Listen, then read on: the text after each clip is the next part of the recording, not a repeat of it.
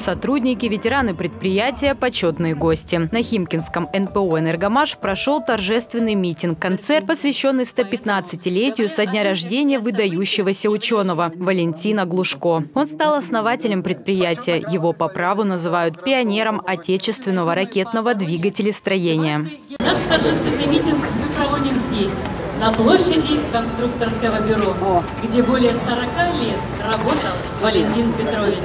На мероприятии вспомнили основные периоды жизни конструктора. Валентин Глушко посвятил себя осуществлению мечты – покорению космоса. Он создал школу двигателестроения, которая стала кузницей специалистов самой высокой квалификации. Валентин Петрович был очень непростой человек.